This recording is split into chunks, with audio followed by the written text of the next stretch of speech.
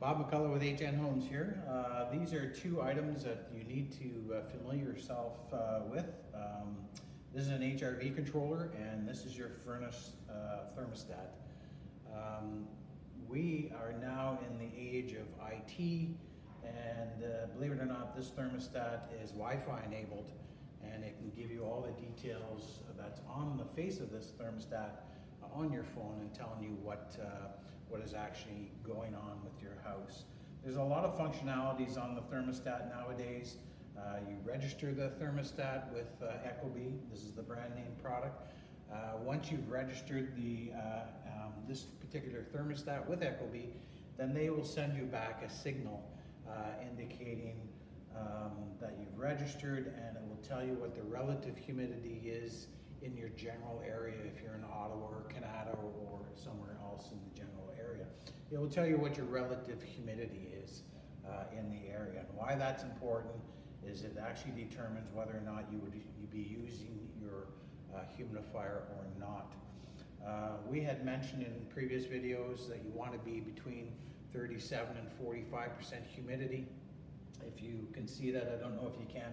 Right now we're maxing out at 45%. Uh, this is a new construction home right now. Um, if we were exceeding 45%, we would again want that dehumidifier uh, bought and purchased downstairs and uh, up and running so that it keeps it within that realm. We just dropped to 44%.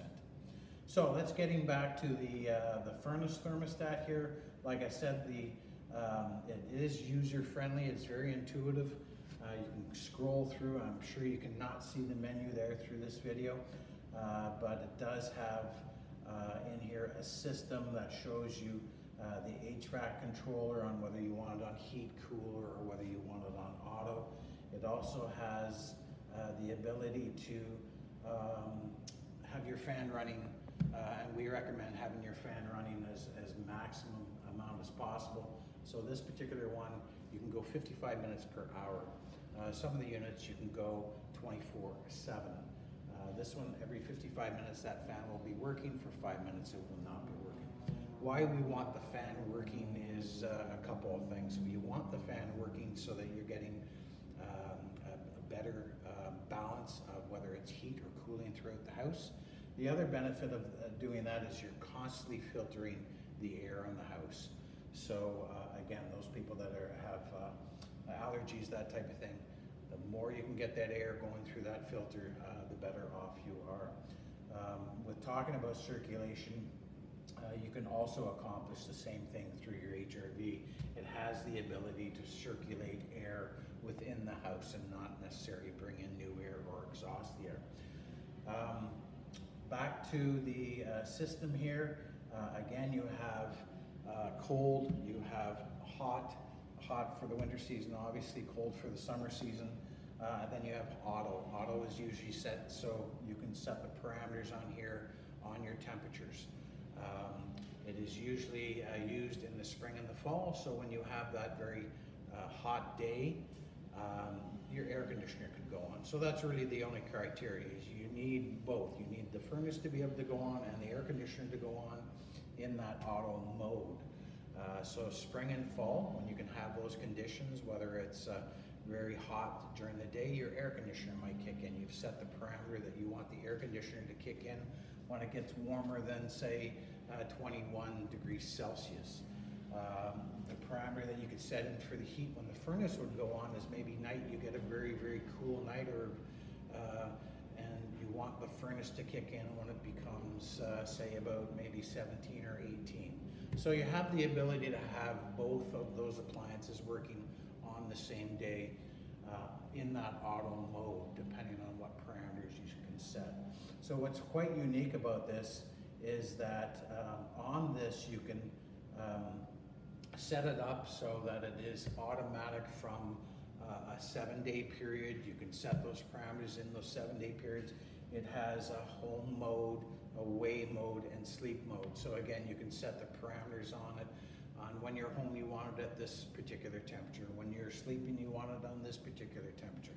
When you're going away to work in the middle of winter, you don't need uh, a house that's sitting at say 24 degrees. You can bring it down to 18 degrees. So it's quite nice in that aspect. Again, because it's Wi-Fi enabled as well, um, if there's problems that arise out of your furnace, it can give you a notice on your um, phone that all of a sudden you're having a problem. It will tell you um, what the problem is. It will also keep a history if you have a reoccurring problem, which is quite nice. Comfort settings, you can set it so that there's reminders and alerts on it as well. Uh, we had talked about changing your furnace filter every four times uh, a year, so quarterly. So it can give you notice, again, either here and on your phone, hey guys, it's time to change your furnace filter, which is really, really nice as far as an alert. Um, you can also set your own preferences here. Once again, you've uh, registered the unit. You can set your own preferences on, on um, what type of notifications that you're going to get, uh, how often you may get them, uh, the dimming or the brightness of this, or how you want um, what you want showing on the interface here as well. So um, there's probably more stuff on here that you can do that I even know about. So um, if you're an IT savvy person, I know the young people in the crowds can get this up and going pretty quickly. Uh, old guys like me, it takes a little longer. So um, moving on over to the HRV. Uh, what's important about the HRV? Well, actually, uh, it is something that uh, there's probably four settings on this that you can do, and those settings involves one is fan. So uh, you can have the fan at zero, so meaning that it's not on, and you can usually go up to speed four, so you can set the, the speed of the fan. You can also set the fact that um, you can have it just circulate it like I mentioned before, or you can have it actually ventilating. The reason why HRVs were designed, as I may have mentioned in other videos, is that your houses are very airtight and you can get very stale air in the house. The actual indoor quality air can be worse than the outdoor quality of air. So you want to be able to take this air, have the ability to take this air and push it out and bring new air in. Uh, the caveat to that is when you are bringing new air in, you're bringing not just the air but the humidity with it. So the word of caution is, is that before you have this bringing new air in, you have to ascertain whether or not your humidity levels will allow you to bring in extra humidity. Hence why I said that once you've registered this, this will tell you what the outdoor humidity is outside right now. So an example is outdoor humidity outside right now is 52%.